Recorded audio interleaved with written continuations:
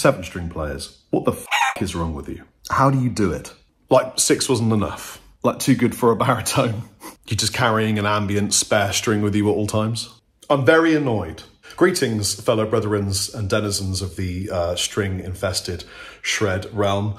I require your help. It's doing my head in. There are times when I am even paid to demonstrate this kind of a guitar, and I just struggle. And to be quite honest with you, um, it's a bit embarrassing. I'd really love any help, uh, any recommendations in the comment section below. Please just let me know, even if it's like funny stuff, to bring my spirits up. Diablo 2, way better than the current situation we're in now. Uh, okay, this is what I got. it's absolutely stunning.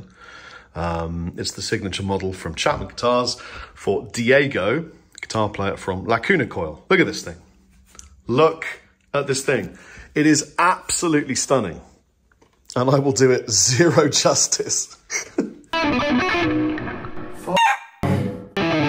nah. This thing is like one of the nicest looking guitars. The top is a black limba top. Uh, Duncan Distortions, um, mahogany body. It's got a baked maple neck, stainless steel frets. It's everything I would want in a seven string. And I suck so hard at playing it. and I want to talk about why I think it is and see if there's anything you can do to help me this is what I think it comes down to. It's not necessarily just a physical thing. Um, measurements. When I'm looking at my guitar, from I look from the top down. I don't really look at all, but I'm, I'm measuring from the top down, and I'm seeing my root being on the low string, and then I measure intervallically from that root down. So you know, I go, uh, this is a fifth, this is a fourth, this is a third, a sixth this is a flat seven and I carry it down. I can't do that. Can't is the wrong word. I have never done that from the bottom up. And as a result, the addition of an extra low string completely throws out my sense of navigation. Basically, I think that I've worked out I need to relearn the bottom of the pentatonic shapes and the five modal heads so that I have my placement back. Uh, and what I need to do is make an exercise for that.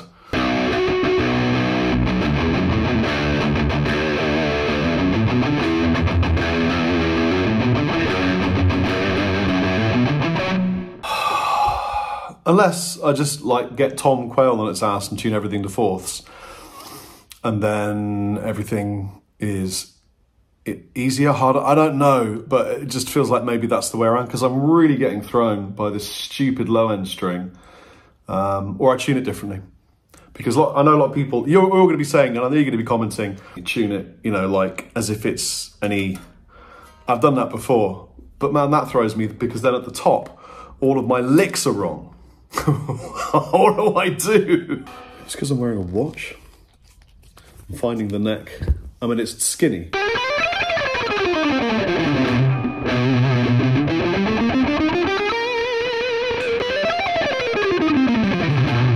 I think I've worked it out. I've just tuned it like a regular guitar with an extra um, high string. Not not the same pitches, but imagine intervallically E, A, D, G, B, E, and then A. And now I can play it and it sounds fucking epic. I mean, it really does sound epic. Is it cheating? Is it cheating? Just tell me honestly, man.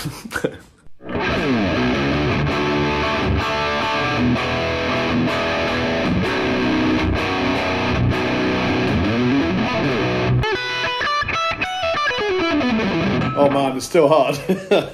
it's interesting, like all of my licks now have this extra bit at the top that I can experiment with. For example, my Dorian pentatonic with now.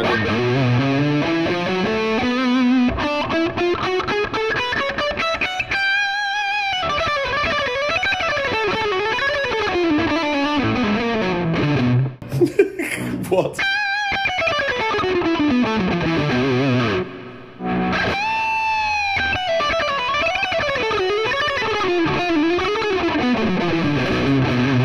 I fell off the string. It's so annoying.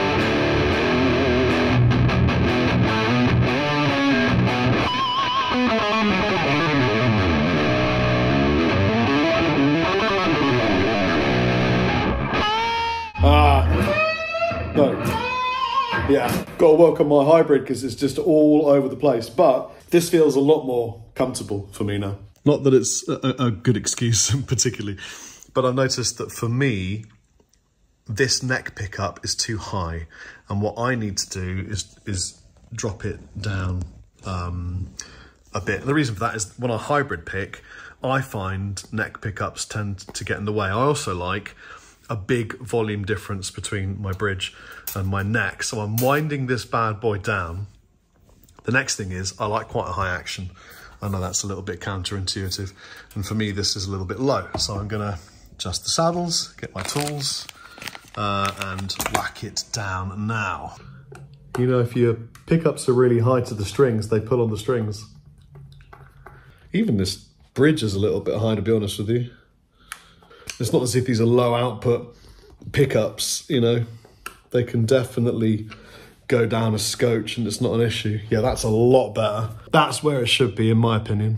And now on Rob Chapman Loses His Marbles, I'm trying to work out whether it's the action or the neck relief because I like quite a bit of both.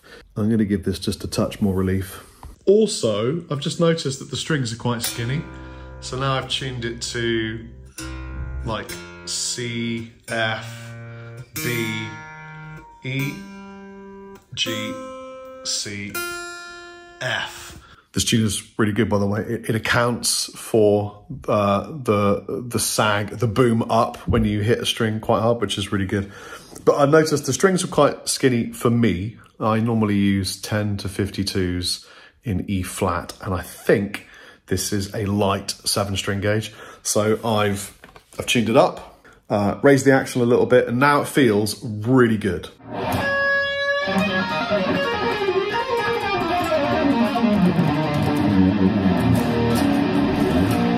You know what I want though? I want a plain D string. It's kind of weird because it's wound.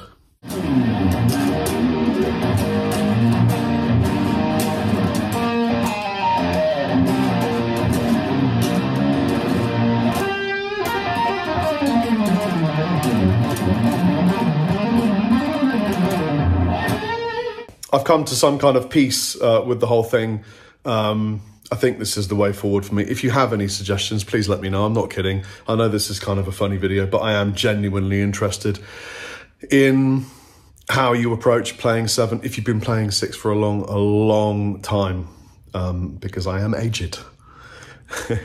Love you guys. Have a tremendously lovely day. Chappers out.